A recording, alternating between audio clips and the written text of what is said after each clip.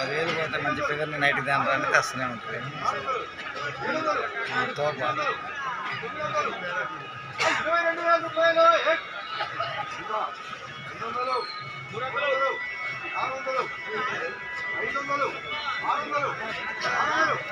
వేసిపోతుంది వేల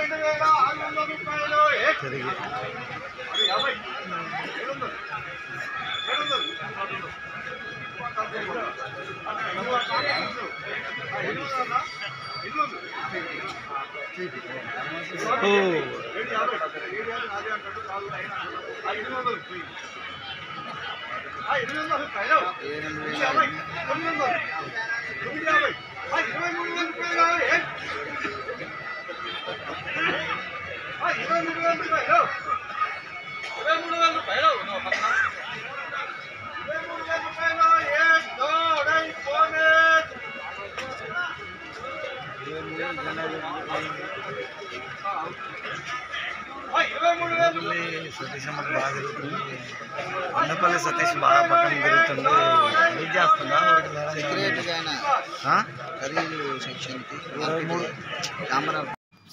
ఈరోజు ఖమ్మం మార్కెట్లో కొనుగోలు విషయం చూసుకుంటే ఇది జెండాపాడ పలికినటువంటికి యాభై ఒక్క బస్తా వచ్చింది. ఇది ఇరవై మూడు వేలు అత్యధిక ధర పలకడం జరిగింది. వాళ్ళ నిన్నటి మీద ఒక వెయ్యి రూపాయలు అయితే ఎక్కువే వచ్చింది. ఆరుదల మంచిగా ఉంది. సో కాయ కూడా మంచిగా ఎండ ఉంది కాబట్టి డ్రై అయి ఉంది కాబట్టి మంచి ధర అయితే పలికింది. దాంతోపాటు ఇంకొక విషయం ఏంటంటే ఇదే సీడు అంటే అగ్ని సీడ్ అనమాట ఇది. ఇదే అగ్ని సంబంధించినటువంటి ఇదే కాయ అదే ఊరు నుంచి వచ్చినప్పుడు ఇంకొక రైతు తీసుకురావడం జరిగింది. కొంచెం ఆరుదలు తక్కువ ఉండటం వల్ల ఇరవై ఒక్క వెయ్యికి అడుగుతా ఉన్నారు. రైతు అయితే అమ్మడం జరగలేదు. దాంతోపాటు ఇంకా కాయ క్వాలిటీ వచ్చే కొంచెం తక్కువ క్వాలిటీ వస్తుంది కాబట్టి కొద్దిగా పద్నాలుగు వేల ఐదు నుంచి ఇరవై వేల మధ్యలో అయితే మనకి ఇవాళ మార్కెట్ జరుగుతుంది. ఇక తాళ విషయానికి వస్తే ఐదు వేల నుంచి ఏడు వేల మధ్యలోనే కొంటా ఉన్నారు. కొంచెం మంచిగా ఉంటే ఎనిమిది వేలు అట్లా తీసుకుంటా ఉన్నారు. కానీ ఎక్కువగా పండ్లు తగులుతా ఉన్నాయి ఆరుదలు తక్కువగా ఉన్న తాళే తీసుకొస్తా ఉన్నారు రైతులు. గమనించండి. ఇంకా బంగారం రావడం జరిగింది మార్కెట్కి ఇవాళ. దాంతోపాటు త్రీ ఫోర్ వన్ రావడం జరిగింది. దాంతోపాటు నెంబర్ ఫైవ్. కూడా రావడం జరిగింది. రైతుల మట్టుకి ఇరవై రెండు వేలు ఇరవై రెండు వేలు అయింది అట్లా చెప్తా ఉన్నారు కానీ ఆ వ్యాపారులు అయితే కొనడానికి అయితే ఎక్కువగా ఇంట్రెస్ట్ చూపుతారు ఇక్కడ తేజాకి ఎక్కువగా ఇంట్రెస్ట్ ఉంటుంది అనే సంగతి మీకు తెలిసిన విషయం. ఖమ్మం మార్కెట్లో ఎక్కువగా ఇంకా ఆర్మూర్ వచ్చింది ఇంకా వేరే వేరే రకాలు కూడా రావడం జరిగింది. ఇది తేజ ఏసీ టిక్కీ అనమాట ఏసీ కాయ. ఇది ఇరవై రెండు వేల ఐదు ఇవాళ కొనుగోలు చేయడం జరిగింది.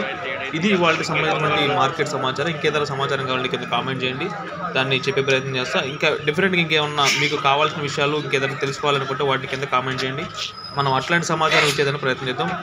Like share subscribe please